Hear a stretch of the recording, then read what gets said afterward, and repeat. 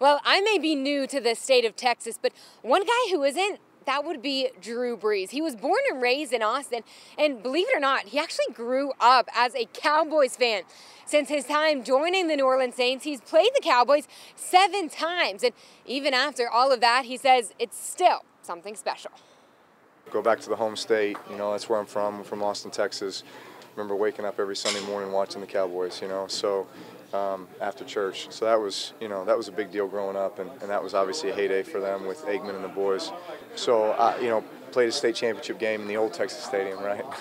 um, so yeah, there's uh, there's there's there's a little something to it, you know. I mean, just a, a, level of pride, you know, being from the state of Texas, having played football in the state of Texas, and, and then going back and playing the Cowboys. Brees played in that state championship game back in 1996. They won, by the way, Westlake High School's only state championship to this day. Reporting in Arlington, Texas, with your Go Black and Gold report, I'm Ashley Leotis.